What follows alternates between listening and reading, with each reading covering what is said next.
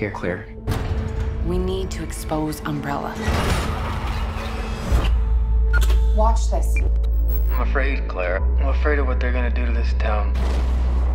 You see, Umbrella, they had an incident. I'm talking Chernobyl, if you know what I mean.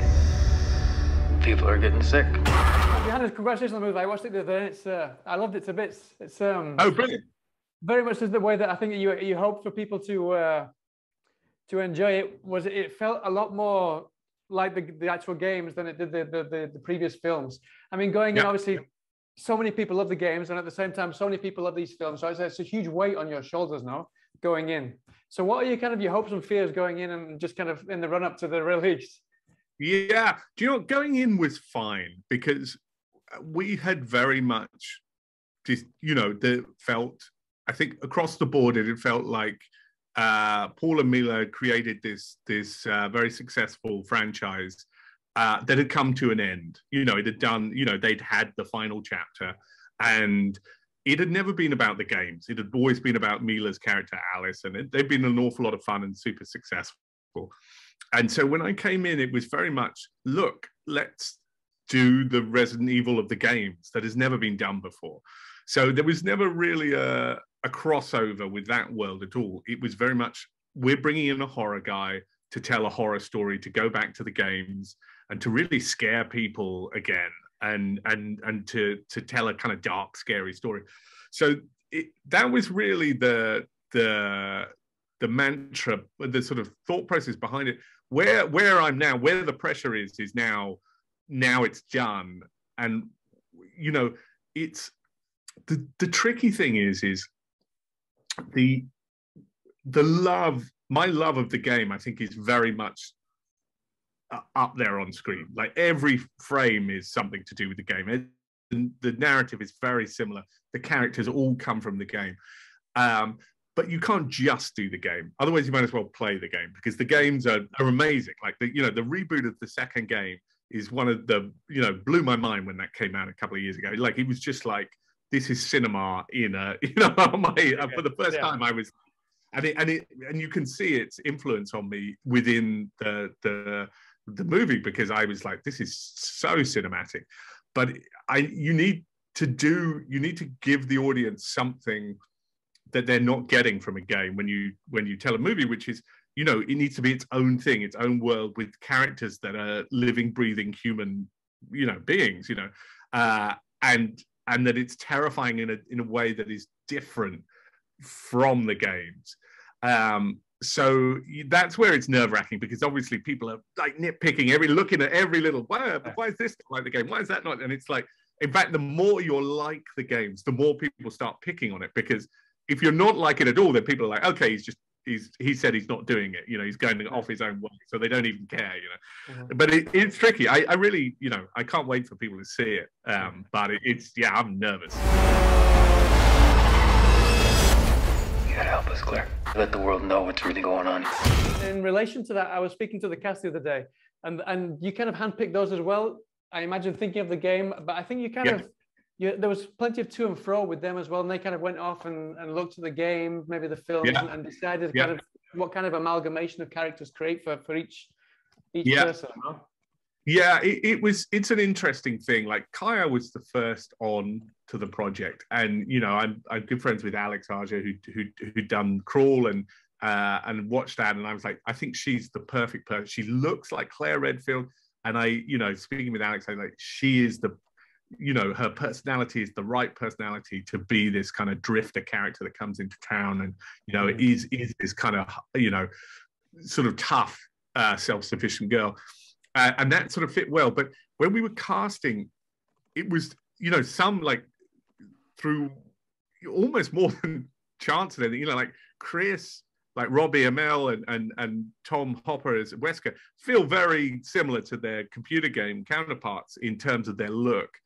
Uh, whereas Leon, you know, Avan does not look like his, you know, computer game counterpart. But it was really he was so hard to cast. Like I saw everyone in Hollywood uh, for that role bec- because it was so important to me because I that's how I got into the script. When I was writing the script, it's through Leon's uh, role that I that I explore the world around me as this rookie that's first day in Raccoon City and he's hungover and he's disheveled, a bit like me as a writer. like I'm, I was when I was writing this, I was probably hungover most of the time, and and I needed someone that could carry off that kind of carpenter anti-hero that had the the sort of you know uh, the sort of humor of a, a Napoleon Wilson from from uh, from Assault Precinct 13 to um, to the the kind of like haplessness of, of Jack Burton from you know Big Trouble in Little China, and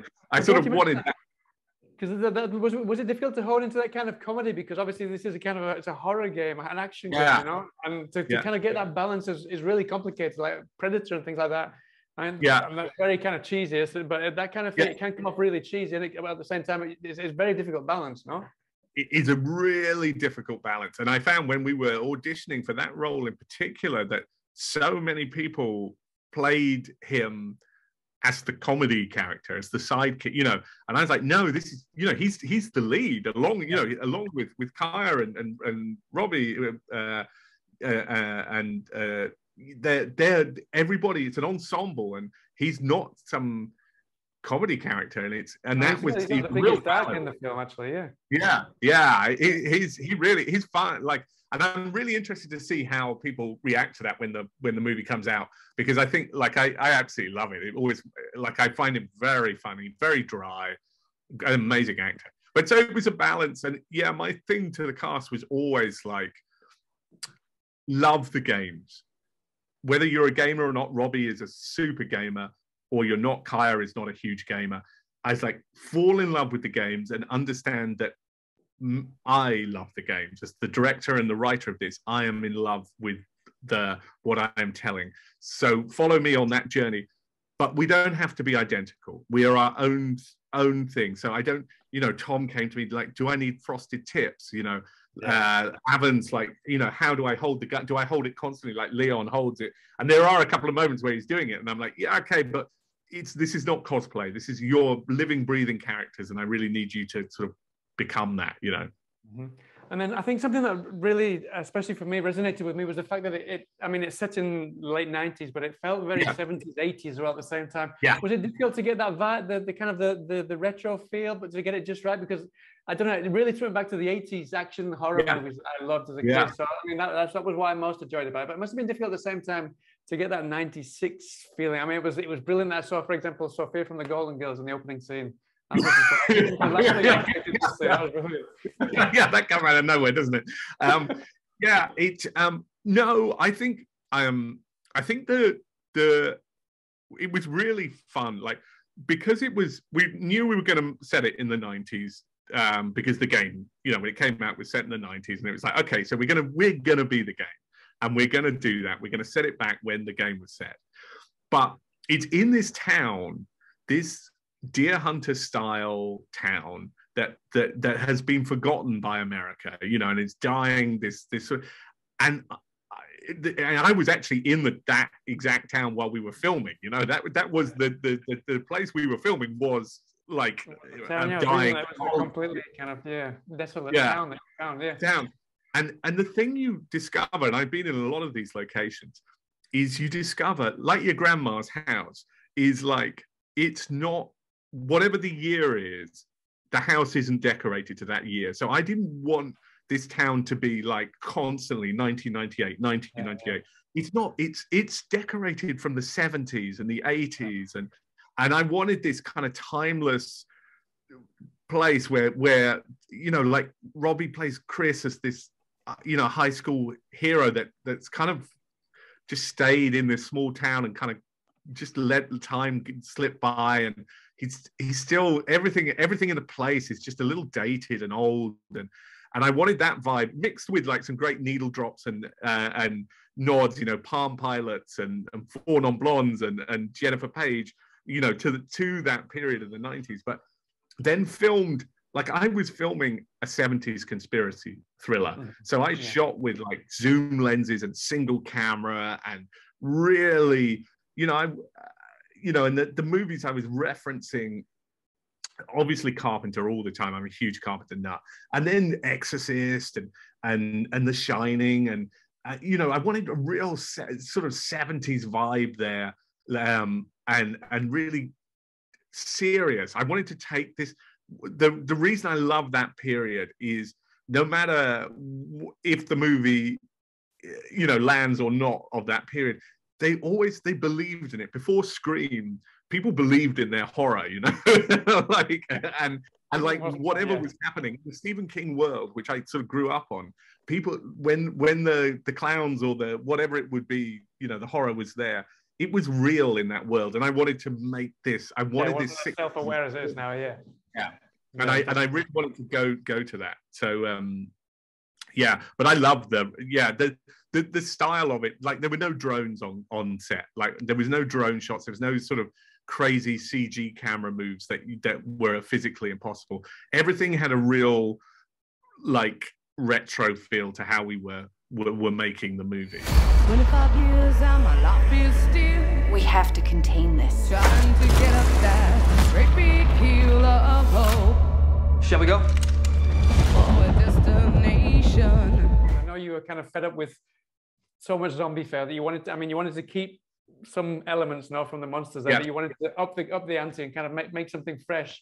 So I think you kind yeah. of you went for more of a you mentioned in I think it was in the press notes you mentioned something about the Chernobyl miniseries was kind of an inspiration. Yeah. Where did you kind of get this idea for the monsters? Because I think yeah. most of it is actually on screen on on on camera. No, you film most of the, the zombies. Yeah, yeah, for sure. As much as much as we could, my mantra was obviously to to to film in camera. Um, and and you know when things get sort sort of to the huge level you have to go you know to the world of, of, of computer of cg but as much as i could i wanted this real and grounded and and i wanted to to feel uh disturbed by what was happening here. And i was the, the one thing we connected you know with Constantin uh you know as soon as i sort of we started talking about this movie we were very connected in our references of just uh, Constantin's a German company, and uh, you know I'm an English guy, half German. We're both in LA. We're sort of slightly outsiders, and we saw America in a very objective view, you know, sort of outside view. So we were very connected in in sort of interesting. Like there was a movie at the time that came out called Dark Waters, which is a Teflon thing about these kind of dying American towns and and and the sort of stuff that was happening, you know, the Flint water crisis, even like Detroit Rust Belt and all that kind of stuff. We loved talking about these references and stuff. And it was sort of even Deer Hunter was a, a film we talked about a lot. So these were kind of references we were talking about back and forward. And then the Chernobyl TV show came out and it just blew us away as a group yeah. because it is phenomenal. It's funny when it shouldn't be funny. You know, it's got like a really dry humor in there. It's dark, it's scary, it's real, but it's it's I just couldn't. It's the best bit of TV I've ever seen in my life. Um, and we just like completely stunned by this. So um, and I've never been so disturbed in seeing like when the radiation sickness sort of went through Chernobyl, like seeing these people, like the the makeup was was terrifying, and it became a really good sort of uh, benchmark for where we wanted to go with the zombies in in in the movie is that I really wanted to feel that like like feeling of being slightly disturbed by what's happening to this town that this sickness was was creeping across this town. And it wasn't just you know I'm I'm hugely influenced by the movies that Resident Evil's based on you know the Romero world.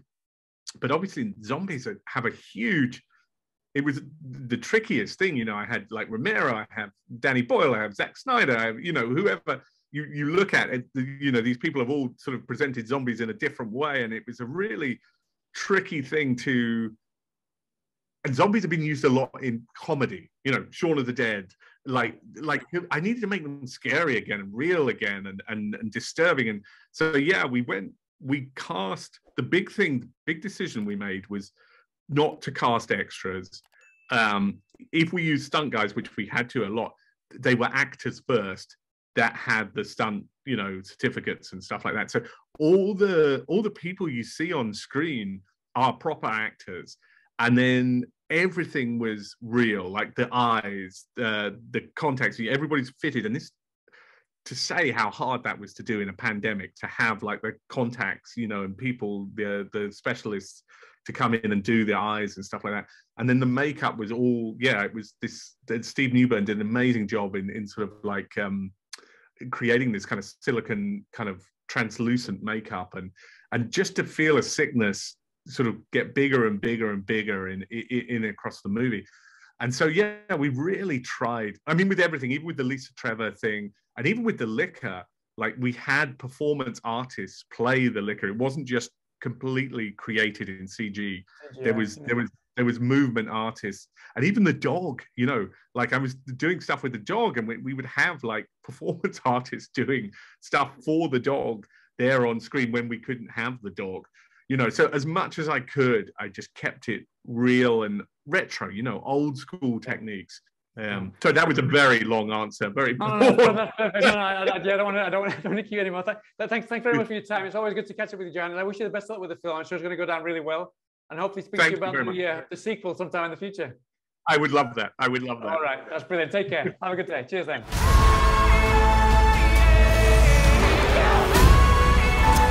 We're gonna take Umbrella down.